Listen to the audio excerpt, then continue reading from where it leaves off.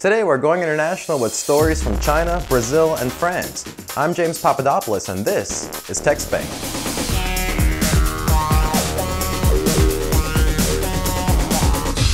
First up, we're off to Brazil.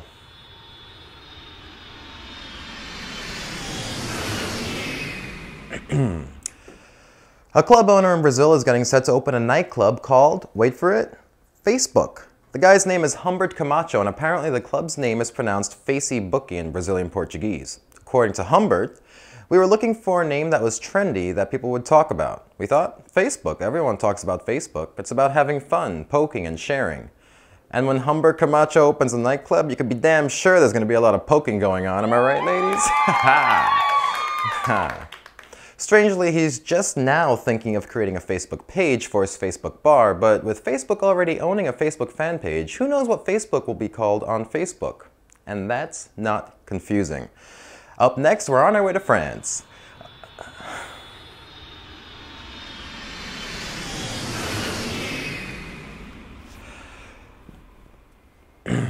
Artist Leandro Erlich has created some public art that doesn't have all that much to do with science and tech. I just thought it was cool, and I like to share.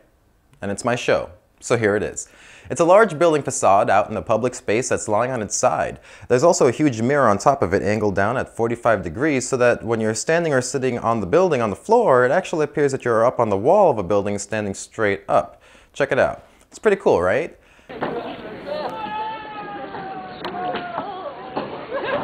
Apparently they also give out drugs to people before they go play on this thing.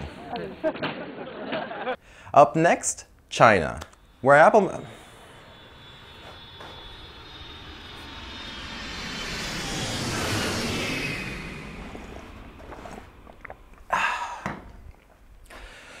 where Apple manufactures their iPhones. According to Apple executives, the reason why China kicks America's ass when it comes to electronics manufacturing is because, well, they also kick their employees' asses. Back when the first iPhone was being worked on, Steve Jobs decided at the last minute to make the screen out of glass instead of plastic. It was a great decision since it wouldn't scratch, but it also meant a lot of work had to be done in a very little time. So, after the engineers came up with a solution to the tricky glass problem a few weeks later, they sent the glass to the factory in the middle of the night and then a Chinese factory foreman at Foxconn went around in the middle of the night and woke up thousands of workers who, after being given a small snack and some tea, set to work on building thousands of iPhones. Now, the Apple executives rightly say that there's no way the American manufacturing companies could have met the timetables. Well, no We have human rights and standards for employee treatment. So while China has more component suppliers and more factories that can work on these things to get them out cheap, they also have 13-year-olds working for around 70 cents an hour. How the hell is America supposed to compete with that? It's depressing. I'm gonna go have a drink at Facebook. And that does it for this episode of Tech TechSpank. Thanks for clicking play and please, please, please comment, subscribe, and tell your friends about the show.